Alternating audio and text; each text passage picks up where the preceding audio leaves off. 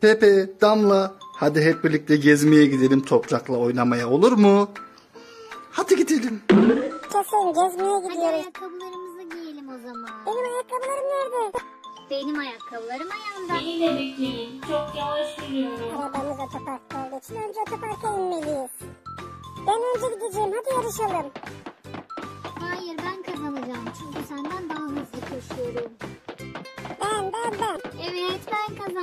Ön koltuğa ben oturacağım.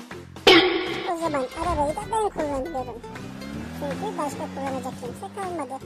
Bu araba çok pis, çok tozlu. Neden temizlemiyorsun Nilo'ya? Bir gün bu arabayı bir yıkar mısın? Müzik açacağım ama tozdan hiçbir şey görünmüyor. Evet galiba yıkamalıyım gerçekten.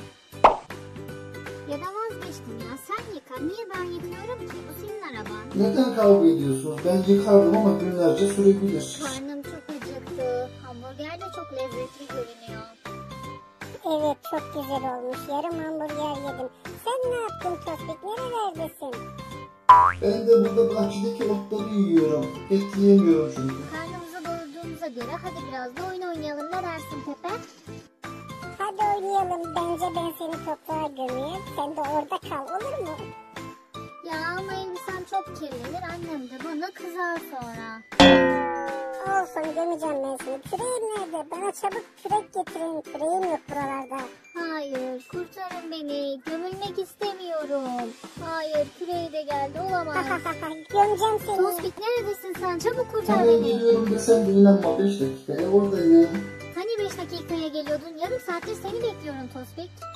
Benim çok küçük ayaklarım olduğu için anca gelebiliyorum Nilo'ya. Tospik seni de gömeceğim Nilo ile beraber. Artık kaçamazsın elimden. Çayımız hazır arkadaşlar. Hadi birazcık çay molası. Çaylar benden. Tavşan kanalından. Çay. Uyku vaktimiz geldi. İyi geceler Nilo'ya. İyi geceler Tospik.